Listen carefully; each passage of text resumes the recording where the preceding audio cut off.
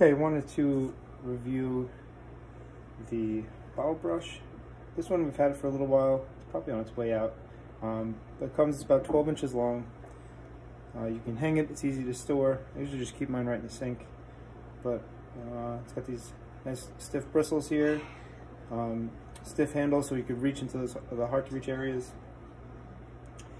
Try it out. Fits into a lot of different areas here. So normally just a little bit of soap on it right here. Get all suds up. Then I got various bottle sizes here. Go in and clean. Gets all the way into those hard to reach areas for those kids' bottles. Rinse that out.